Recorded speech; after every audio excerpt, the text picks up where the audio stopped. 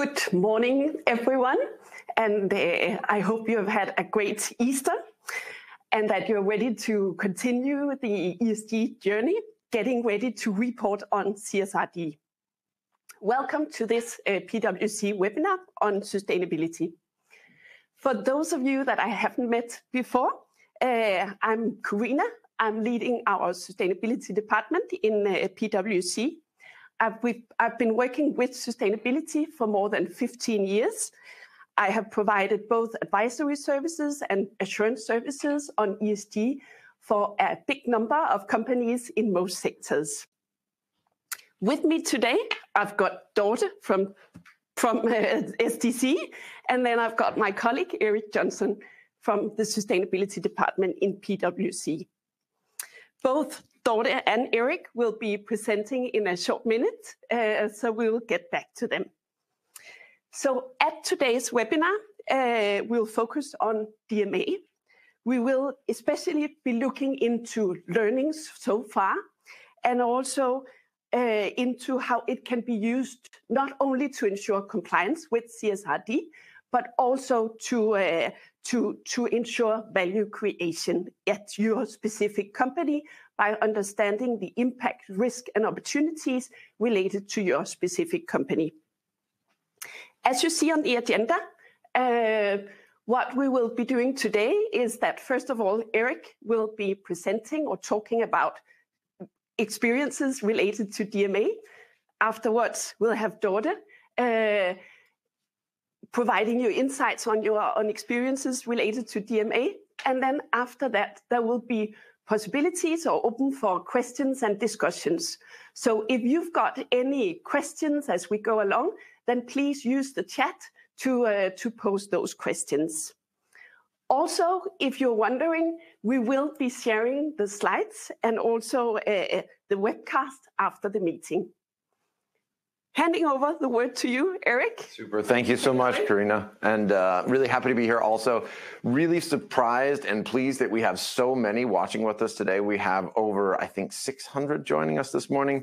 So we were chatting about, gosh, are we really so popular or are people really just easing into the work week after uh, an Easter holiday? In any case, it's really great to be here with all of you. Uh, we're really proud of the work we've been doing at PwC with, uh, as Corina said, DMA or double materiality assessment. And I just wanted to share how big and how strong this team is. Uh, we've been working on double materiality assessment, ESG assurance for a number of years. What's new for us as a team here, both in in Copenhagen as well as in in Jutland, is that we are doing this in the context of the ESRS and the CSRD. So, this new directive, the Corporate Sustainability Reporting Directive that you probably heard so much about and which is why you're here. We won't be covering the basics of the CSRD today. If you're looking for that, we have an earlier webinar, which is still available on our website. You can check it out and uh, we'll cover the basics there. But we will give you a fast introduction to the basics of the CSRD and the ESRS just to make sure everybody's on the same page. We decided today, and I have good news for you, we decided to give away all of our best secrets, uh, as many as we could pack in this short webinar because we really want to help companies and motivate them to really use this process for, as Karina said, value creation. Yeah, but with that said, there is a brief disclaimer that the knowledge we're sharing here today, it's our best guess, it's our best opinion on a new directive, uh, a new set of standards we're all trying to navigate together with uh, our global center of excellence in CSRD, as well as with all of the rest of the Danish and European business life. Um, today, my presentation will be structured around the questions I get most often when I'm talking with companies, as I'm doing every day. Um, what are the questions I get most often around ESRS and CSRD? So, we're going to try to answer as many of those as we can. One of the first questions I often get is, what are the main changes? What's the what's the big picture here? Um, it is a significant extension of the scope of the sustainability reporting. Many Danish companies have been reporting on ESG in their annual reports for a while, um, mostly listed companies. Now that this is all large companies, if you're an accountant, it's Regnskabsklasse A or accounting class C in uh, large C in Denmark. You're going to be asked to report on a lot more, most likely, than you were before. It's at the level of the group. So, what we often say is the daughter company, the subsidiary can point upwards if they want. uh, the mother or the parent company cannot point down. So that responsibility for reporting, it's at the group level. It will be tagged with XBRL, just like your uh, accounting numbers are, probably something most of you are not familiar with if you're not in accounting, but all of your information is digitally tagged to enable analysis across companies. And that same thing will also be happening with your ESRS reporting or CSRD reporting. It's the audit committee or the board at large which is responsible. So often people will say, hey, who should be driving this? Who should be leading this? And we say, well, it's not really up to discussion. Uh, it's a legal requirement that the board is responsible. So therefore, it's usually a really new role for the CFO who's now playing a real driving leadership role on gathering and making sure that this information is high quality. It's in the first accounting year after 1st of January 2025 for large C companies. And if you're listed, then hopefully you've already set up your reporting systems because it's for this accounting year. Most of you will likely have seen a slide like this before. Um, and the question I get is, okay, this is 250 pages, Eric. We also know that there are uh, one set of value chain implementation guidelines draft. We have another set of materiality assessment implementation guidelines. Each one is 50 pages. Then we have a set of frequently asked questions from EFRAG. And because they didn't think that was enough, they give us another set of frequently asked questions. So overall, it's about 400 pages of reading at a minimum. It's a lot. What I say to CFOs is read ESRS 1. It's important that you know what the general principles are that you're expected to live up to with questions like consolidation, aggregation of information, what kind of accounting principles you should be following. And as well, anybody who's driving or playing a big role in this process, process you can't get around reading ESRS 2. That box at the left is the general disclosures. This is also the only mandatory disclosures uh, in this directive. Um, but if you really want to understand how the, the double materiality assessment works, you've got to really spend the time to read ESRS 2. Unfortunately, the way it's structured, there are also cross references back and forth to the other chapters spread throughout the uh, the topical standards, which cover the different areas under E, S, and G. There are references back to double materiality assessment, but at a very least, you should read ESRS 2. One of the things that makes this so hard is that we don't have sector-specific standards over to the right. So the idea that every uh, company in uh, every sector across Europe has to apply means that we are navigating some gray zones here. Um, so take good care to pay attention to your sectoral risk, your geographical risk, and the entity size and complexity when figuring out where you should uh, be focusing in this exercise. In my experience, most companies really have a lot of internal knowledge about ESG, even if they don't consider themselves ESG experts. They know what kinds of things are in their industry to pay attention to.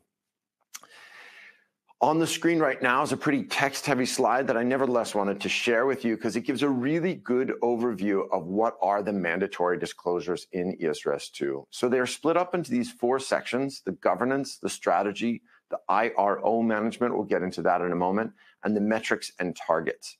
I'd like to ask you to focus on the top of two, strategy, and three, IRO management.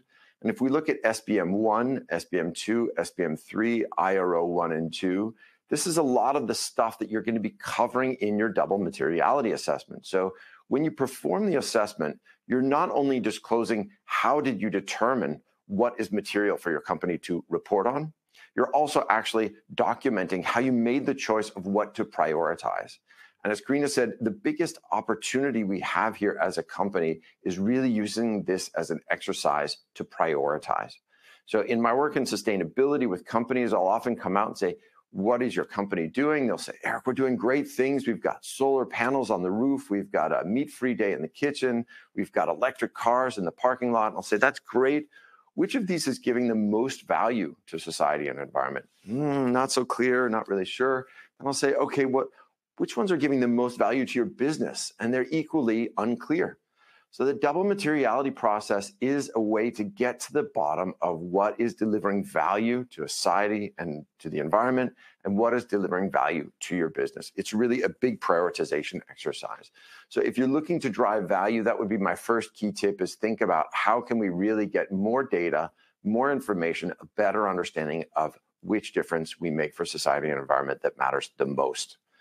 When we talk about double materiality, you may have seen something like this before we're talking about both the inside-out perspective, in other words, how does my company affect the people and the environment around us, as well as how is my company affected by um, uh, the ESG factors that may affect my business. So, for example, if we're producing something that has a lot of water, we may want to, in the production process, we may want to be aware, are we producing in a water-stressed area? Could we save water so we'll save on costs, but also save water for the surrounding area, and they'll be happy that our company is responsible and not depleting the water resources?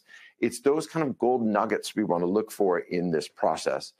And the other key thing about this uh, this slide is to pay attention that the ESRS is really asking us to look from a value chain perspective. So one of the things that's new in the ESRS, uh, the European Sustainability Reporting Standards, is making sure that we really look up and down the value chain to identify where do we have impacts and where can we be impacted. We talk about impacts, risks, and opportunities, something I'll touch on a bit in a moment. But on this slide, you can see how risks uh, and opportunities are on the financial side, the financial materiality, and the impacts are where we are having an impact on society and the environment as a company.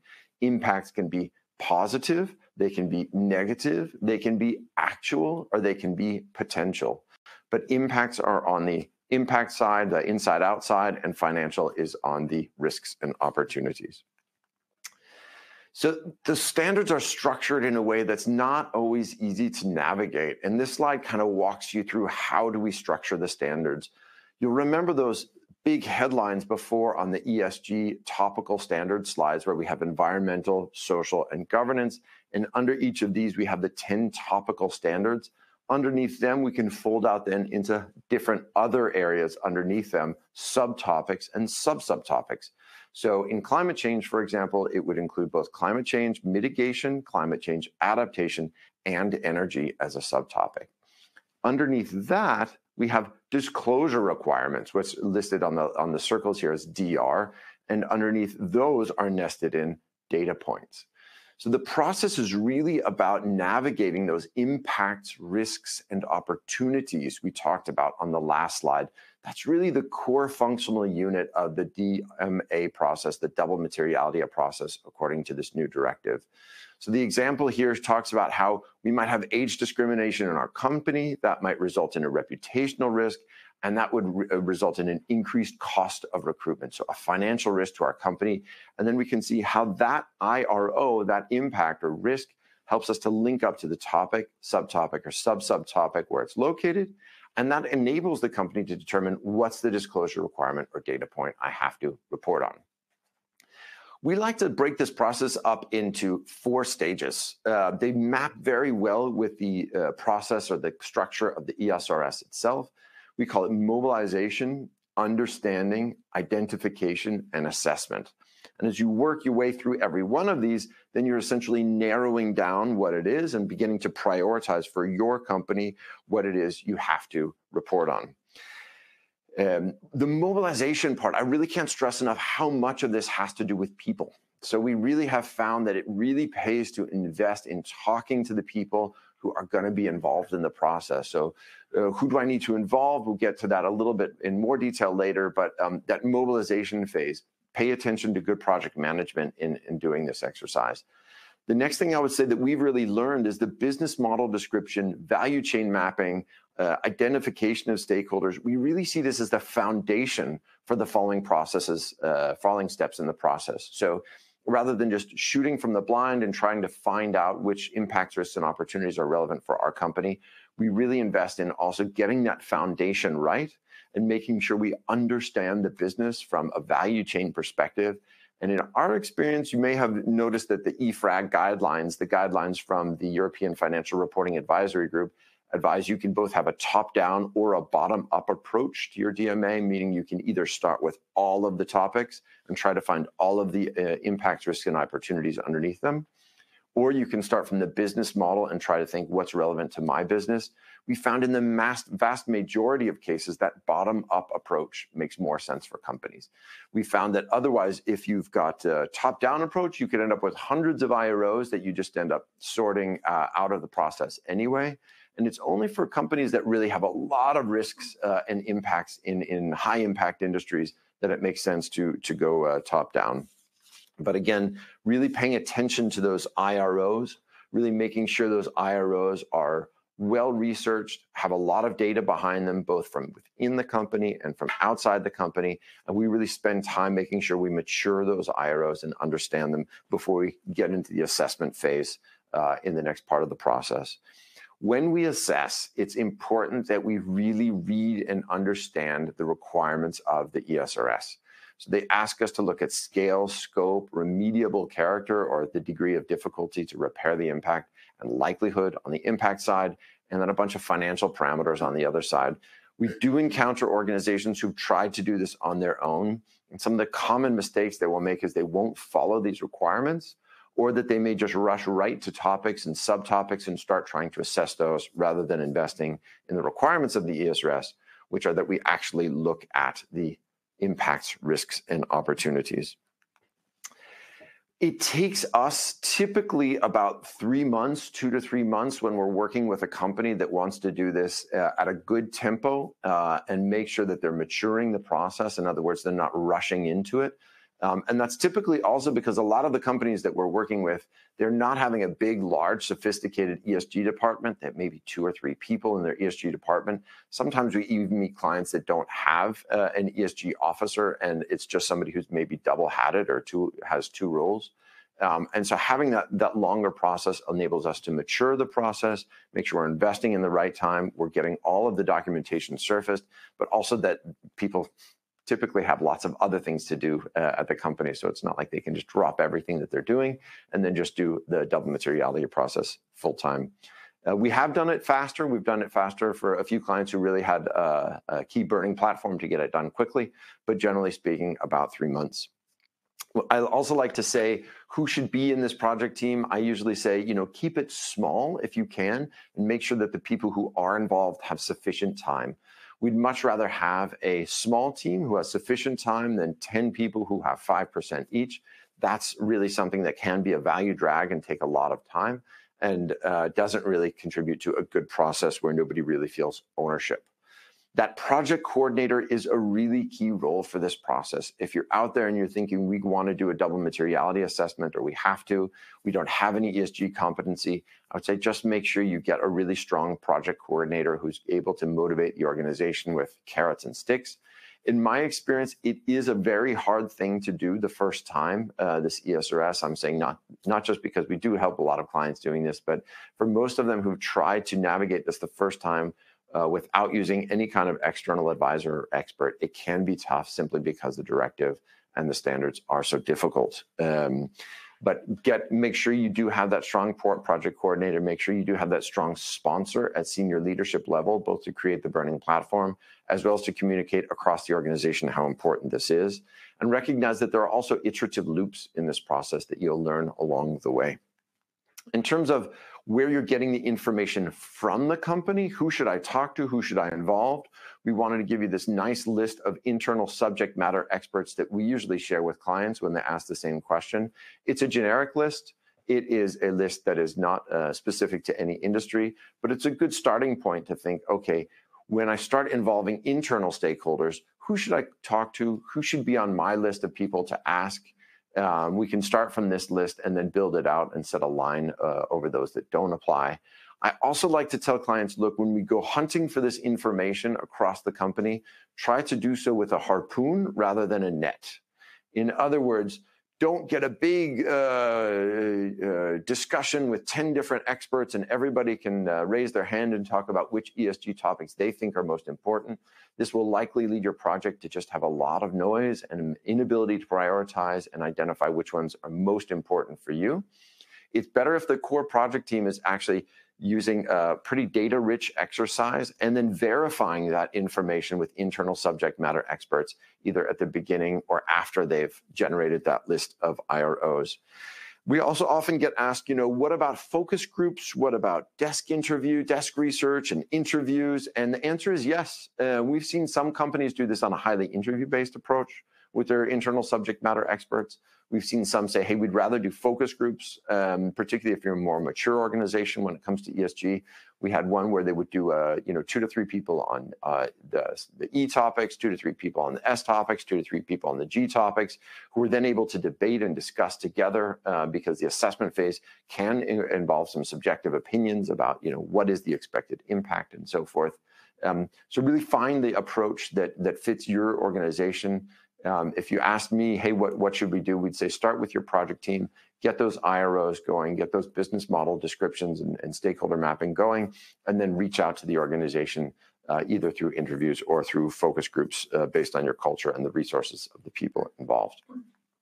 When it comes to external stakeholders, Another common question we get is, Eric, do we have to go out and run around and make focus groups with our external stakeholders, meaning not just the customers or the suppliers, but also the people who might be affected by our products or services, either in the production phase or the use phase?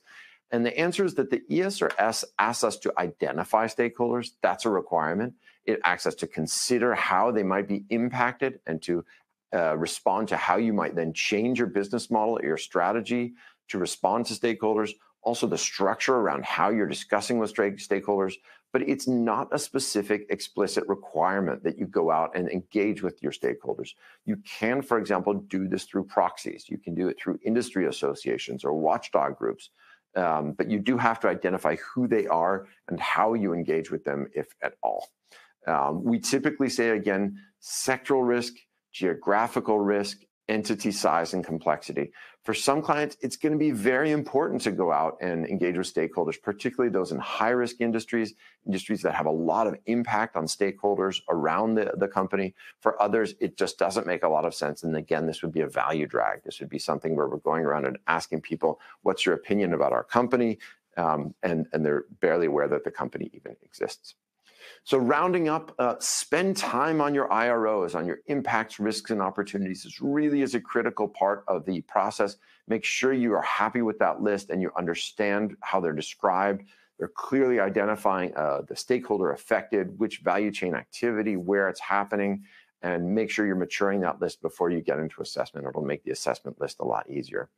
Another common mistake we say is when people are either describing impacts, risks, and opportunities or assessing the risks they will do so based on what we call gross risk or uh, the risk. Uh, I'm sorry, they'll do so on um, the risk after a mitigating action is put in place. We want them to assess gross risk. In other words, we want them to assess what we call uh, inherent risk, uh, not after, not residual risk, not after the mitigating action is put in place. So, for example, we have a risk of child labor in our industry. However, we have a, a, a lot of really good policies um, to make sure that there's no child labor, so that's not a risk. Wrong. We'd want to say we have a risk of child labor in our industry and then assess the potential likelihood and impact of that risk and then we put in the, the due diligence measures with our suppliers or our own organization to make that sure that's not a, a risk that materializes. So make sure you're assessing before you do the mitigating actions. If you're navigating gray zones in this directive, we're always saying, hey, define your criteria, document how you're applying those criteria, and follow it consistently it's really important that we remember that this is a reporting directive and not a behavioral directive, which means there are no absolute thresholds for what should be assessed material or not material. There is, however, uh, some, some thresholds quantitative with some of these KPIs, but the point being that we need to make sure this is an audit ready process, that we have our audit documentation for how we conducted the process absolutely clear we have uh, four eyes oh, uh, checking the information. We've documented that several actors who have been within the company are sufficiently mandated and equipped to make these judgments have done so. Document, document, document. We want to do this with our audit in mind and make sure we're making it easier for auditors and our stakeholders to understand the content of the of this, the double materiality assessment.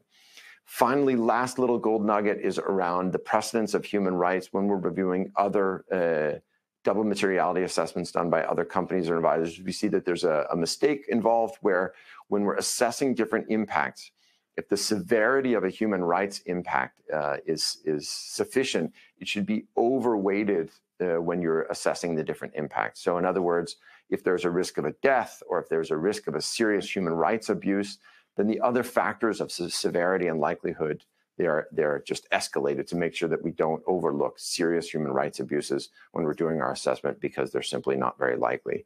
So make sure you read the ESRS 2 on that point and follow it when you're assessing your human rights uh, impacts. I think that's all I've got to share today. I wish I could share so much more that we've done from these assessments, but I think my contact details are in the end of the, yes. Thanks a lot, Eric. Sure. Super uh, good. Uh, before moving on to Dorte, we just got a question which I think is uh, super important to get in place. So the question is, when making a DMA, should it be based on disclosure uh, requirements and data points? When making the DMA, it's on the IROs, right? So these impacts, risks, and opportunities. And I understand the question because it, it can be confusing. Um, what we want to do is we want to make our list of IROs, our impacts, risks, and opportunities. This is one of the actual requirements of the ESRS. It was on one of those first slides there. Then we assess the IROs. On the basis of the IRO assessment, then we draw that line back to the topic, subtopic, and sub-subtopic, figure out which area are we looking at, and then that will lead to which disclosure requirements and data points are material. So for example, my company uses a lot of water. Therefore, there is a risk that we will deplete water resources. That's our impact. On the basis of that, we'll go back to the topic, water withdrawals, or I'm sorry, it's subtopic, water withdrawals. And then under water withdrawals, we'll see, okay, there's some disclosure requirements and data points here I'm going to have to report on. Exactly. So it's at the very end of that process. Uh, and maybe just one more question, and that is what is the end result of a DMA? Yeah, so your end result of your DMA, you'll you'll end up with your material uh, um, impacts, risks, and opportunities. After that, then you need to go back and do what we call the determination, which is then you're going to figure out, okay, on this list of material impacts, risks, and opportunities, which disclosure requirements and data points are going to apply and be material for disclosure. And think about who's going to be reading this report, right? Who are the intended users of the information, either from a financial or from an impact side. Very good. So uh, we've got more questions, but we'll come back to that uh, later. Now we'll leave the, the word to you, Dorte. Yes, thank you so much for this invitation. I'm very happy to be here and also for all you attending the webinar uh, about this uh, super exciting area. So I'm here to present a case uh, from SDC where I work, uh, and that is because we have worked together with a very dedicated team here in PwC in terms of our DMA process. But first, a little bit about uh, my company and, and myself. So I'm Dorte Råhave Østerdal. I work as head of ESG, and uh, I joined um, in April 2023, so last year. It's a new role in SDC, so that also means that the uh, SDC is is now taking and and uh, more active um, ambitions within the ESG agenda that we want to raise, and that is uh, within the company, but it is also together with our customers. I have a long experience within ESG for many years, and uh, it has been in PFA, so the largest commercial Danish pension company, but also from Leo Pharma, which is in the pharmaceutical industry and, and known for very compliance-driven area. Then I've also worked in uh, Sanofi, the competitor of uh, Novo Nordisk, and I see that the ESG is uh, on the agenda of board of directors, but also top management. And that is why I also thought it could be very interesting for myself to take some executive training. And I've done that at the AVT Business School within strategic leadership and also the program named Purpose, People and Performance. And uh, my educational background is that uh, I graduated in law many years ago. So yes, this is me. Uh, I'm very excited about ESG in general, but very excited about the CSRD. Uh, I think it's a very interesting new area and very important, not only for the companies, but also for the world in, in general. So if we look about uh, SDC, maybe some of you know my company, uh, maybe some don't. Um, it is that uh, we offer small and medium-sized Nordic banks uh, a core banking system platform that also supports security and compliance requirements. So it means that uh, it's development, it's maintenance, but it's also joint IT purchase. So the whole started with uh, small and medium-sized banking going together to find how can we collaborate on this uh, complex area. We call it a great banking experience, and that is uh, for advisors in the banks, but it's also for the end users in the banks. And uh, we aim to have a competitive price. If you look at uh, our customers, that is uh, uh, around 50 small and medium-sized companies, and we are uh, around 647 employees. It also means that there is 1.8 million end users, and when you look at the customers' accounts within the SDC banks, it is uh, 5.6 million. And we are primarily in the Nordic region. So that was a little bit about SDC. Then when we look about our ESG profile, so we are a provider of critical financial infrastructure in the Nordics, and that also comes with a responsibility.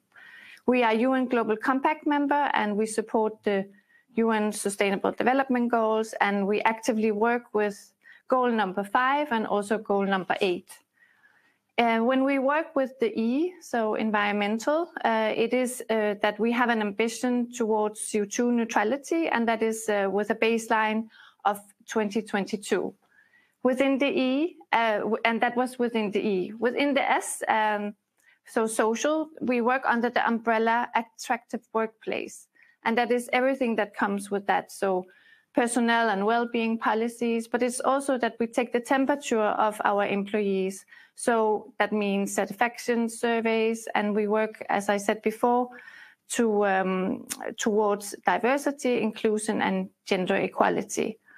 When we come to the G, so governance, it is uh, since we are the company we are, of course, IT security is, is very important, but also the whole data protection, uh, the GDPR, and also, of course, we have a whistleblower and uh, ESG policy. And then we also uh, work together with suppliers, and that means that we also have a supplier code of conduct that is presented to our SDC suppliers. So that was about uh, ESG in SDC, but uh, we only we also work together with our customers uh, towards sustainable banking. That is our ESG ambition, and that is in close cooperation with our customers. And that is because the banks has a key role in, in the transformation towards a more sustainable world. So as many maybe know, there has been high regulation about this area. So together with our customers, together with the banks, we are providing also ESG solutions, which we see is, is becoming more and more important for our banks. So the next slide that I have uh, here for us at today's session, it is I would like to put some attention to our CSRD readiness. Um, it is that the SDC welcomes the growing focus on ESG in the business community, but we also decided that it's really important to work under the umbrella with a CSRD readiness approach. And that is really to meet the future complex requirements. Um, as you just heard from the presentation of Eric, there is a lot that uh, is will be the next step for companies also in, in, in terms of compliance reporting. So, so that is also why we took the the, the choice of uh, entering collaboration with PwC, and we have been met with a very dedicated team here. Uh, it's been such a pleasure. And, and that uh, process of about the DMA, that has been part of our readiness. Um, the next will be that then we will follow up by a roadmap. Um, but I'm mentioning this uh, as an idea for if you are um, looking into how you should get started and work with the CSRD, it can be really nice to have uh, a CSRD readiness plan and also with the commitment of the CFO. And that is the commitment that uh, I have, together with uh, the working group, uh, been working with. If you look at uh, our situation, it is that uh, we need to report due to the CSRD directive by the financial year of 2025. So even though it seems as there is some time, I feel that also um, there's a lot of work to do. Uh, as a new, uh, it is that SDC has uh, launched a new commercial strategy, and I would also like to mention that ESG is now part of the commercial strategy. It has its own principle of delivery, which we call ESG by design. So the next slide uh, that I wanted to share with you today, this morning, um, it is an overview of the process. So, so this is the collaboration that we had with PwC. As you can see, we started out with the CSRD readiness plan. So, so it was approved, and also it contained uh, the DMA.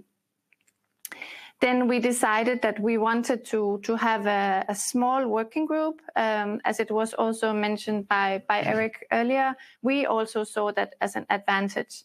So the working group uh, consisted of me and then my colleague. Um, I come with the ESG background, and he comes with the financial background. And I think that that has been a wonderful collaboration. It has really also had great discussions also in terms of uh, when we look at the way of uh, approaching this. We started out uh, with a kick-off workshop, and uh, if I should summarize, um, you may be wondering like how many workshops, how many interviews was it? Um, and when I count how many workshops it has been, um, the number is six. Um, we have also had steering group meetings during the way, and I also think that, of course, that is super important.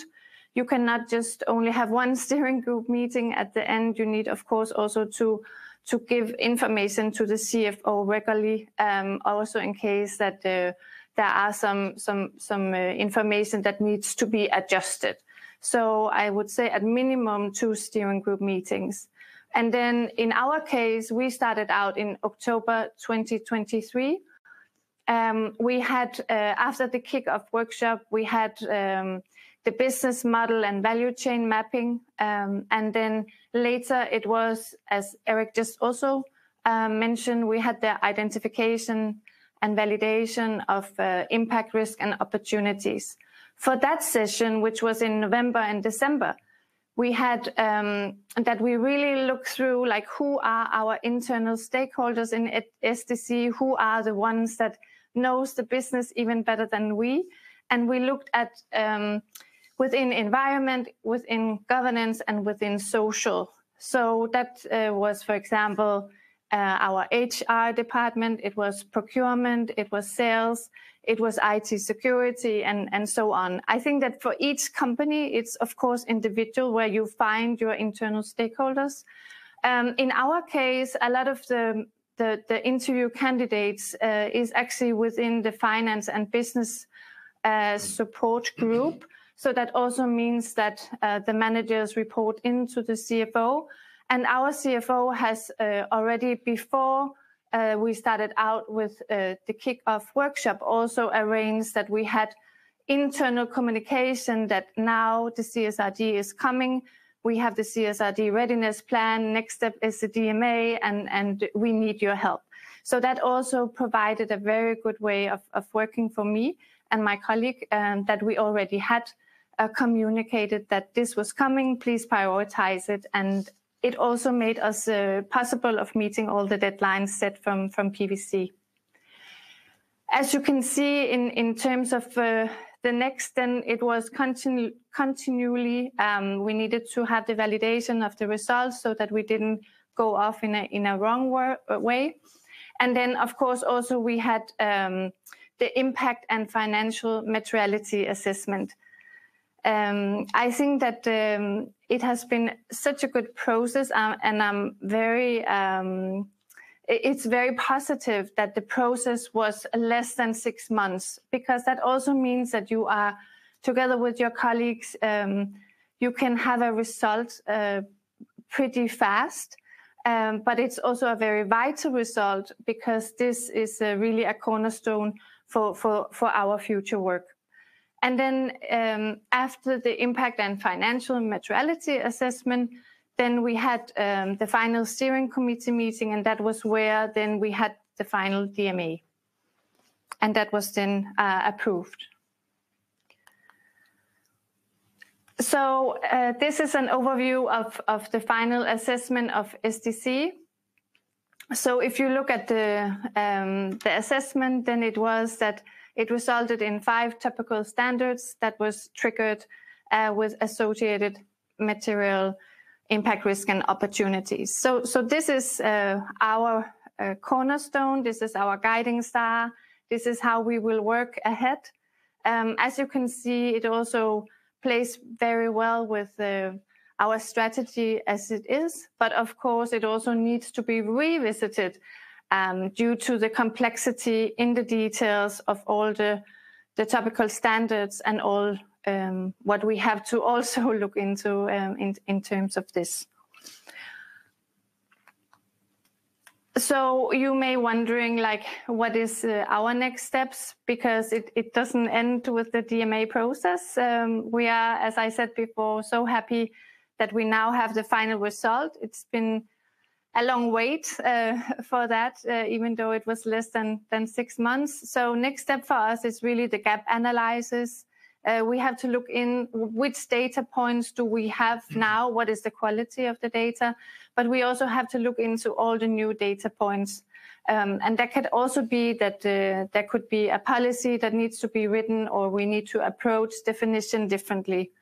I think that this is also a very exciting area because that is also uh, some data points that will be able to, for us to raise the ESG agenda as we have already said that we want, and now also within a very structured way. And it will also be possible for us to benchmark um, us even better against uh, other companies. Then, of course, the governance for data. Uh, we all know that if you have uh, even more data points, then also you need to have a very good structure. And that is also uh, in terms of the, the when your uh, auditor has to, to look into the double materiality assessment. Um, so we also need to, to look into that. And, and the good news is that uh, we are already now um, looking into a system support of data. So it means that we are scanning the market, like could there be some uh, technical support platform where we can not only gather the data, but it could also be maybe um, a work in process um, so that you can assign like this data point needs to be um, put in from HR and, and so on. so that will also be very interesting to see where, where we land. And then, as Eric said um, very good earlier, since there are so so many new uh, reporting requirements, of course, we are also looking into how how should the concept of our new report look like. Um, so it will include the CSRD, and then um, the whole uh, readiness for audit approval. Um, what we have learned from from this process with the dedicated team of PwC is that the um, final DMA that we now have in our hands, I have it here, um, that is uh, that we can send for audit approval, and that is also what I what I'm very happy about because, uh, as we all know, that is super important. So, if I should sum up with uh, what I feel that is uh, the learnings of uh, SDC, in regards to the DMA process together with uh, the dedicated team in PwC and also my colleagues uh, in SDC. It is really that this DMA is now our cornerstone in our future work. Um, learnings is also really get this internal commitment. This is not a, a one-man show at all. And that's not what it's about. It's really not about me going to other departments saying you should have a data point here or not this is really to be embedded in the organization and raised also by the the CFO. Um, it really needs to be that you uh, get to own your data. You get also the insight of your data. You get a, a whole new way of also looking at possibility to raise your own sustainability agenda, which is just so important. Um, also in the situation that the world is in right now. Then I'm also uh, thinking that learnings really get started, get the CSRD uh, readiness plan approved, or maybe you are already there, but really just get started and, and, and go into this because there are so many details.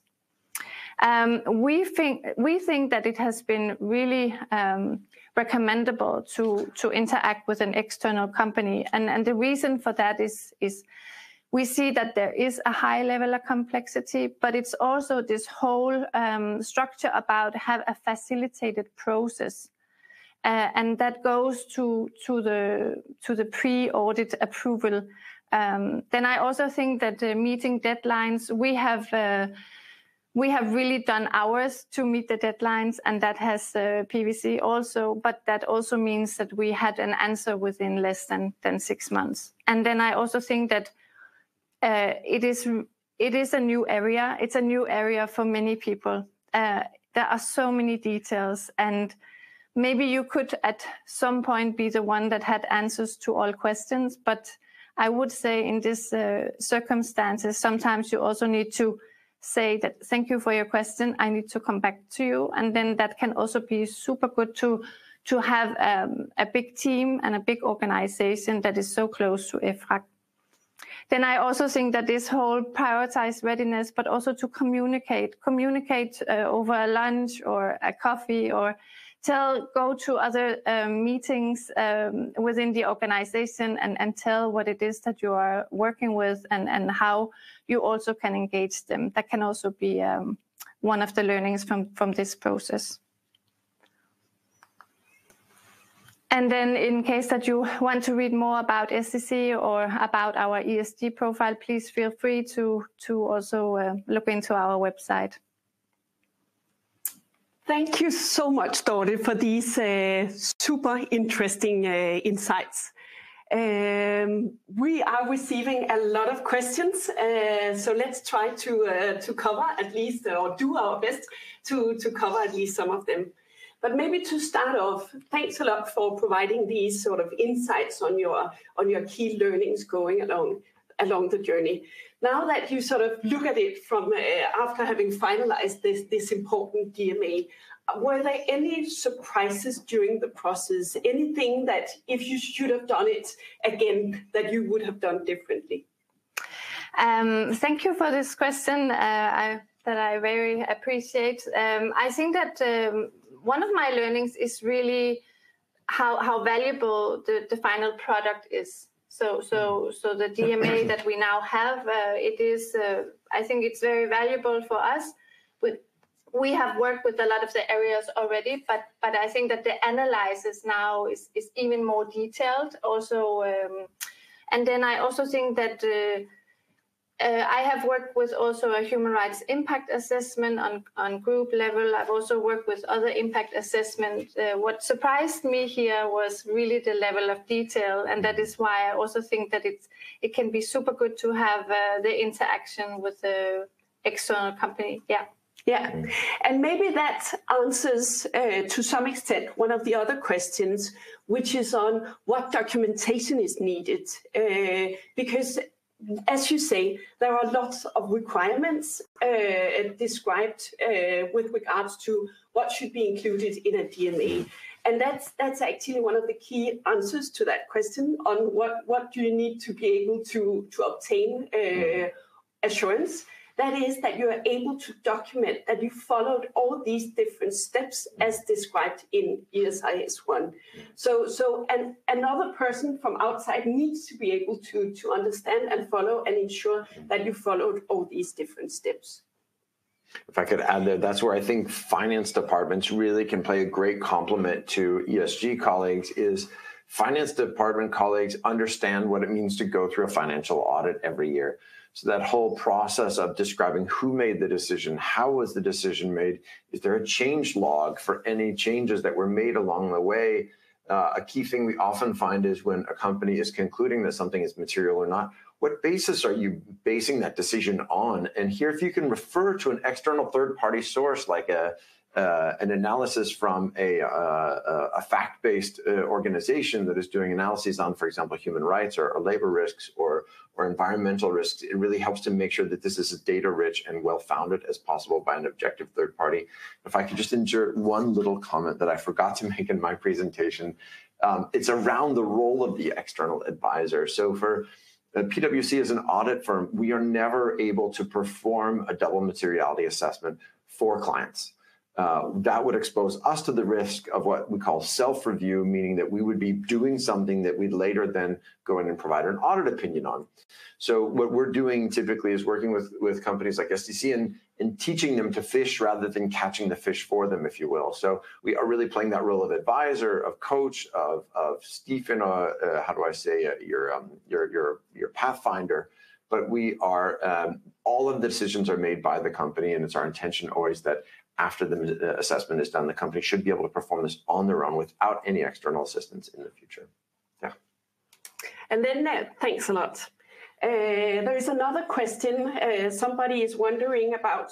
You said you started the DMA process six months ago, but that was before the uh, the DMA uh, guidance came out. So how did you do that? And maybe that's a more general question on that we are sort of operating in uh, an area where, I mean, we've got the guidance on DMA, but it's actually only in draft form. So we're still waiting for the final one. So, so how did you, or I don't know who of you wants to answer this question, how do you navigate in this uh, world of uh, uh, having to sort of ensure that you start the journey on complying with CSRD at the same time as the regulation is being developed and finalized. Yeah, I can maybe um, say one thing and then Eric can support me. Um, well, I think thank you so much for the question. It's it's really a, a, good question. I think our approach was to to get get started now. And as I started out saying that we will first uh, report for the financial year 2025.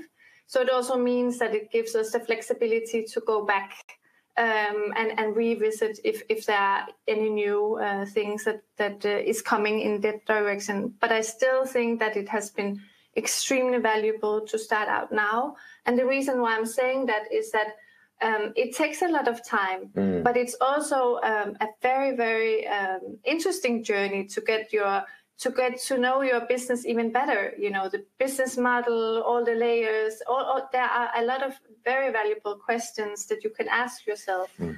Um, so I hope that that is, uh, yeah, a question. I don't know. Do you want to? How did you navigate the uncertainty?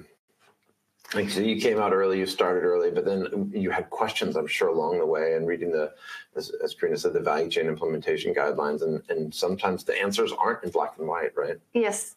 Um, I think that sometimes it's also a strategic choice. Do you mm. want to? Do you do you dare to to go out even though um, nothing, every, not mm. everything has been sorted out for you? And I think that this was a choice for SDC. Uh, and the reason why we have this choice is also we see that this is very important for our customers. Mm. So it's also uh, important for us. Um, and then also I think that uh, the way I look upon it is to that, that we are actually building the road while while we're also getting to know uh, the road, and and I think that uh, for us it has been a good choice. Mm. Great. If I would just add, we advise clients to get started now because some of the data points that they have to report on, you'll be wanting to have a formalized accounting practice at the start of the accounting year. So for uh, data points such as number of employees, we can pull these out at the end of the year. But for example, if you're calculating scope 2 GHG emissions for the first time and reporting on those publicly, those are pulled from your finance system. Typically, you're going to want to have that defined by 1st of January if your accounting year starts then. So you don't have a lot of time to get that accounting practice set up. So start your double materiality assessment now.